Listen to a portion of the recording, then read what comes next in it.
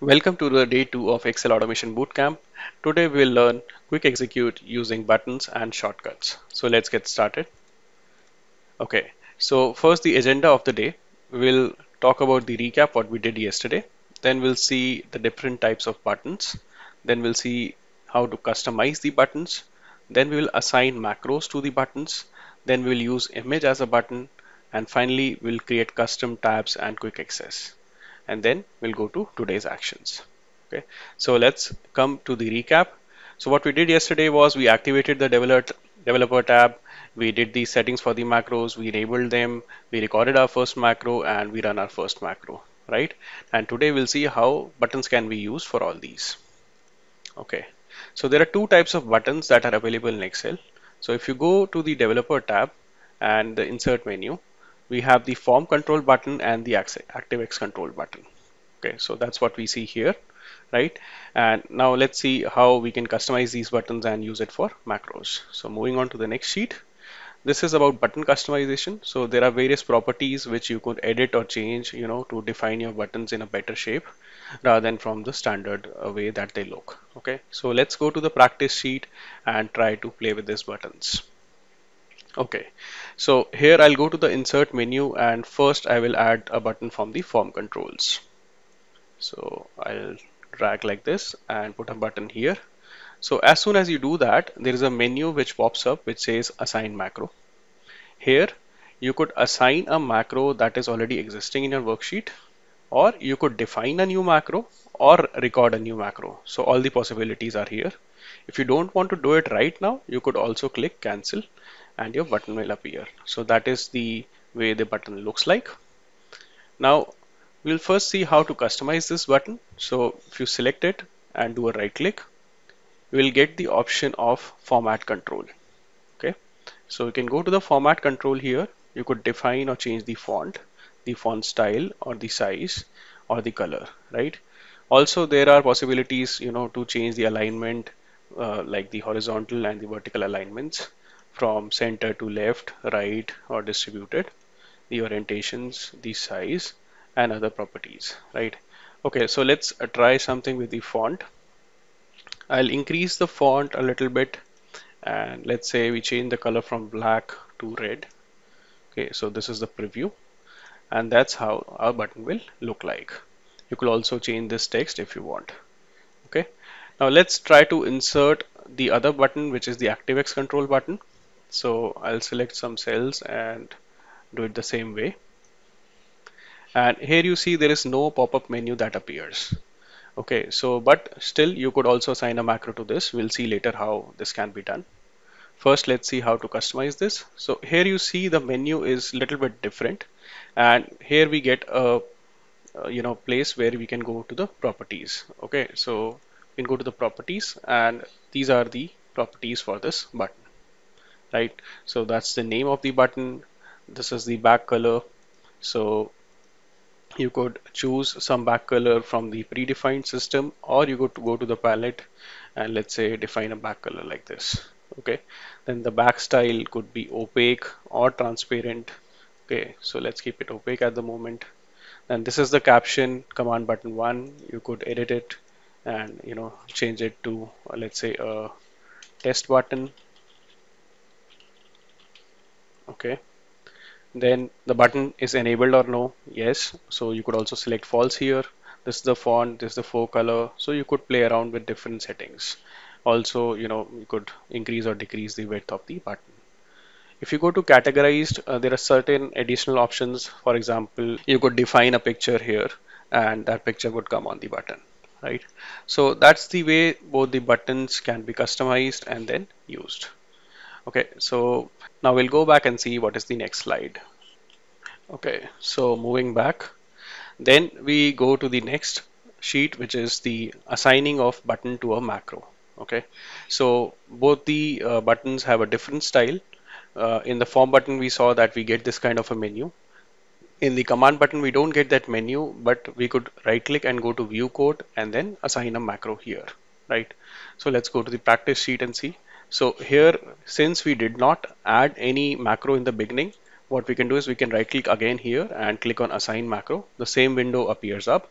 So you could choose the existing macros or click on new so here you could type anything and that would you know be the code for behind that button okay so for the moment I will type a standard uh, you know command which is message box msg box and write test button one. Okay. And just save it. And now if I click the button you'll see the test button one appears. We'll learn more about message boxes uh, next day. Okay. So this is just an example to show how the button works.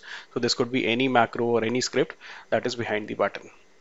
Now when you want to assign a macro to this ActiveX button there is a little bit difference. If you try to you know right click it it will not happen. So for that you will have to first click on the design mode under the developer tab like this. And here now you could select the button okay? And now you have the possibility to do a right click and then go to view. So you see the uh, private sub function for this button uh, comes up. And here you could type let's say msgbox and then test button 2 okay and we'll save it. And then when I come outside I still cannot click it because you see it gets selected on clicking. So I have to come out of the design mode and then click it. And you see that we get that message box. So that's the way on both the buttons how you can assign the macros right? So let's go back and see what is the next topic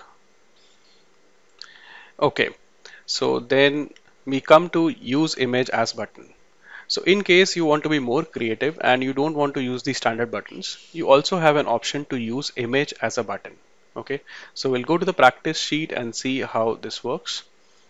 Right, so we are on the practice sheet and here first I'll go to the insert menu and under the illustrations I can add pictures or shapes or screenshots for buttons. Okay, so let's see some examples.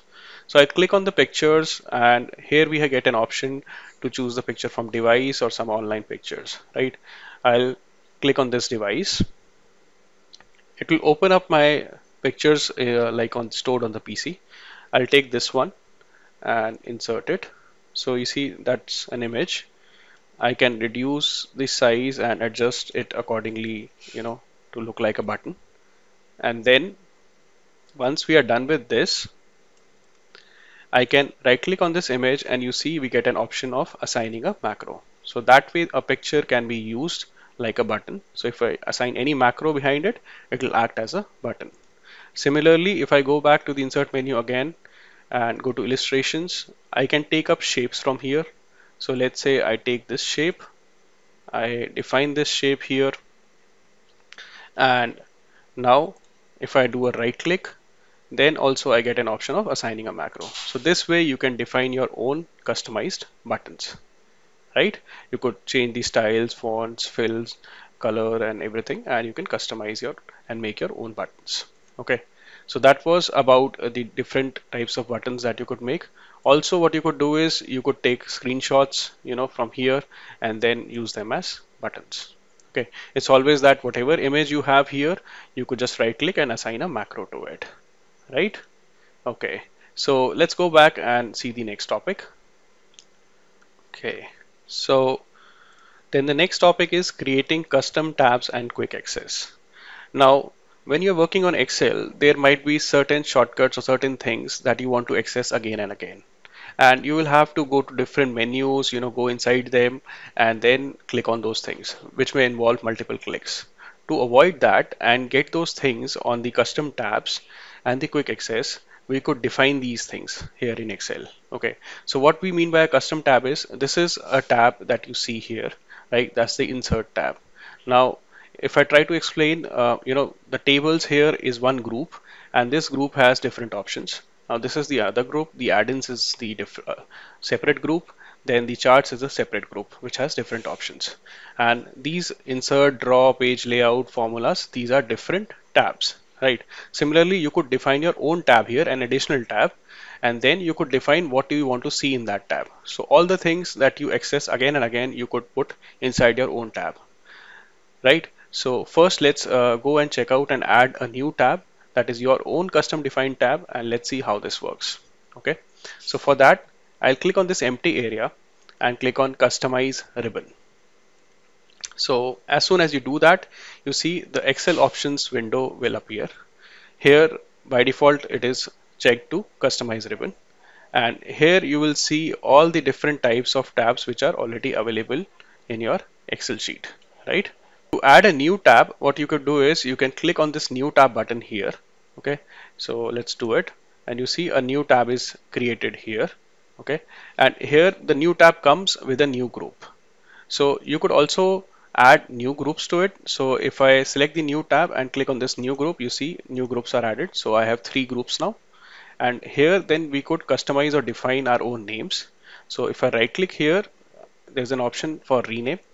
So I can you know rename this new tab to let's say my tab okay then the new group to let's say group 1 so that will be my group 1 and I could also define an icon for that if it's I mean if I wish. Okay so let's choose an icon. Okay then let's rename this one to group 2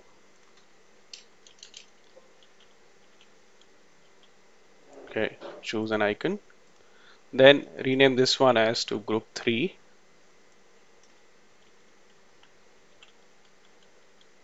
choose another icon and that's it. So I have three groups here now what do we see in these groups? At the moment these groups are empty but we could take any option from here and put it in the group. So for example cut. So I select this cut I select the group and then I say add. So you see the cut option comes under group 1 then I select group 2 let's say fill color and add it. So it comes under group 2 and then I select let's say freeze panes add and then it comes under group 3 so whatever options you use again and again or very frequently. You could define them under your own groups. So these are the popular commands. You also have a possibility to see you know different types of commands. And if you're not sure or you want to see all of them you can go to all commands. So this all commands will list all the different commands that are available to be added to the groups. Okay. So once we are done with this setting, I can click on OK. And now you see my tab appears here. And it has three groups, group 1, group 2, group 3, what we have defined and with the options that we frequently use. So that's the way you could create your own custom tabs, right? Now coming on to the next topic, which is quick access. So quick access is the menu that is available here where we see auto save and save so that's the place where the quick access buttons will appear okay to do that we'll right click here again go to customize ribbon and quick access is the next option here quick access toolbar so at the moment we have auto save and save here but we could add more options. So let's see something from the popular commands uh, what we could let's say put in the quick access. So for example quick print. So I select quick print and I you just press this add button and then it gets added here. And as soon as I click OK you see the print button appears here okay? So if you want to quickly give a print that's the shortcut. You could just go to the quick access bar click on the print here and the sheet gets printed. So that way you could also define your own quick access menu right? So I hope these uh, tricks of the custom tabs and quick access will make your work faster, right? So then coming on to today's actions. So try the buttons for the form and the ActiveX control, customize them, then try to use image as a button, create tabs and quick access. And once you're done with all these activities, post buttons created in the WhatsApp group. Thank you very much.